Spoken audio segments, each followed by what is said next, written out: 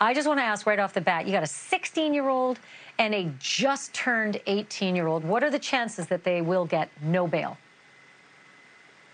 I can't really speak to what, what whether they will or won't. I, what I can tell you is that there will be a lot of different factors that the judge will look at with each individual uh, juvenile. The first uh, juvenile, I believe, was 17 at the time of the crime and has turned 18 since. So that may be a factor that the judge considers. Uh, the other juvenile is 16. Lots of things will be considered by the judge, like um, the, the seriousness of the crime, the ties that they have to their community, any kind of history that they have uh, criminally or otherwise. And it'll be solely up to the judge whether they get bond or not. So let's talk about a little bit of the background on these kids. And again, we wouldn't know it unless they were charged as adults. But at least uh, Jesus Ayala has a record as long as your arm and then some.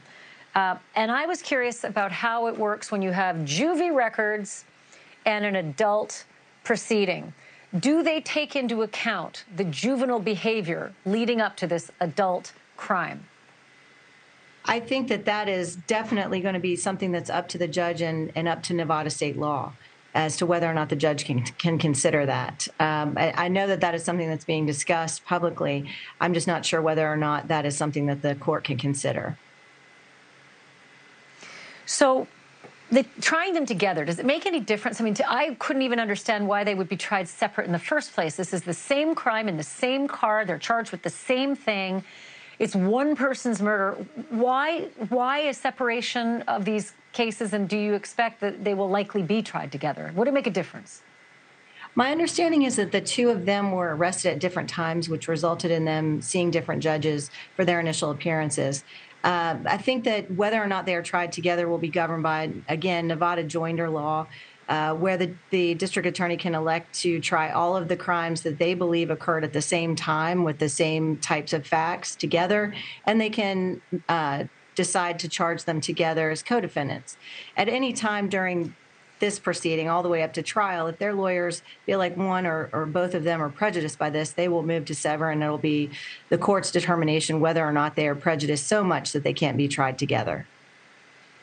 Well, now I'm going to really test all your time on the bench. Um, you know, there was a weird thing that came out in the press today, and I, I can't make sense of it. That's not saying a lot, but the, the DA was asked if the death penalty would be sought. I have always known the Supreme Court has said you cannot execute minors and you can't automatically sentence them to life without parole. Doesn't mean they can't get life no parole, they just can't get automatic. But the answer was weird. Um, the DA said it's too early to make a determination on the death penalty. Does that mean because Jesus Ayala is now 18? Because the crime was committed when he was 17, which is still a minor. Can you sort that out for me?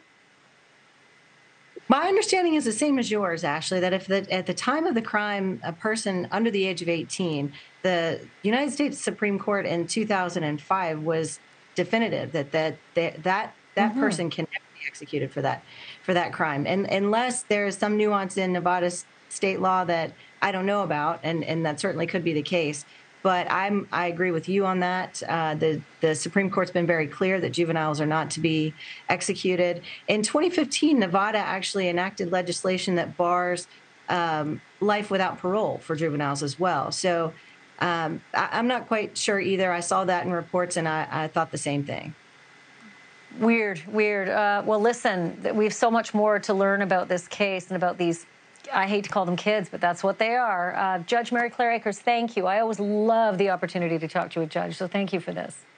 Thank you so much for having me on. I really appreciate it. Thank you for watching. Go to newsnationnow.com to find NewsNation on your television provider. And don't forget to click the red subscribe button below to get more of NewsNation's fact driven, unbiased coverage.